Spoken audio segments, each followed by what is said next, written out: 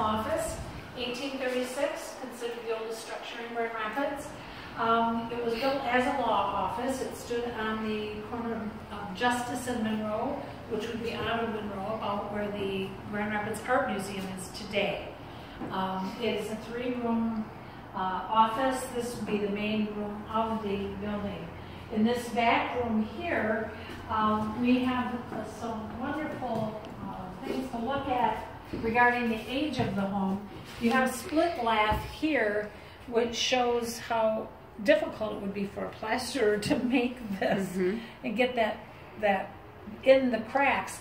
Whereas up there with the number two, you have the regular lath that we use now, and the a plasterer could get that in there, yeah, a good plasterer. Um, so the uh, there is a corner here where it shows the wood beams on the original part of the house. This was later moved to um, Ionia north of Michigan Street, and it was made into a house, so there was additional rooms put on it. Um, as you see, there's no bathroom or kitchen in here because it was a law office. And of course, in 1836, it would have been an outhouse.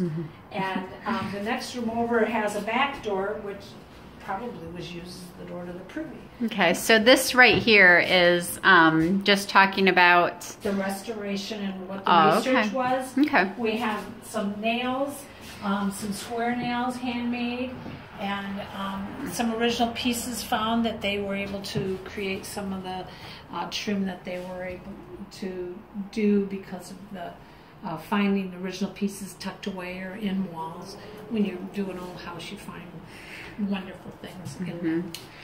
Um, just the pictures have not been put out this year. They um, and um, group of interns thought it'd be fun to have some old typewriters out and around. None of them are from the period that it was a law office. So this is an 1890 typewriter. This so an 1890. after after Yep, that. absolutely. Okay. So normally, are there pictures up here? Do, would, if Um, people come visit again? Much. This is um, not open to the public except on the Heritage Hill tour the last two years. Okay. Good. Well, I'm glad I got in here. And then uh, this room just shows how it would be nicely finished off. Had an access to an attic, um, but it would be quite an ordeal to get up there and squeeze through that space. Um, and so, like I said, there is a back door. Um, everything's pretty shut up, closed up in here hmm uh, normally. So there there was it was a house at one It point. So there were rooms added on the back of There this. will be added on the back. We have a photograph that I can show you that shows that uh, there's a book out about it. And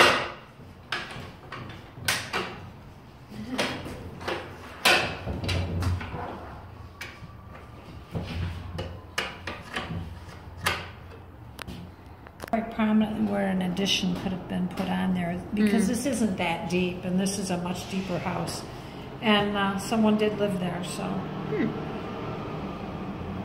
And then in 1891, um, that's a picture from the Baxter uh, History of Grand Rapids, which is kind of an iconic book. I'm just trying to see the difference between these. Like Those they, are they added some different different. This one added has, some different windows Then it's a maybe. window, Mhm. and then that's what it was like when it was a home. Okay, And so they've taken out these pillars and They're- put in like square pillars. yeah. square things. Did they just put them over them, or did they take them out? Um, I'm going. I, I don't know, but I'm going to guess that probably they took them They out. They, gone. they, you know, wood rot and. Right. and Oh, so that's then they true. were replaced. Okay, so then and now this is what it looks Yep. like now, and that was done in it was 1970s. restored to using this as a guide. hmm Um,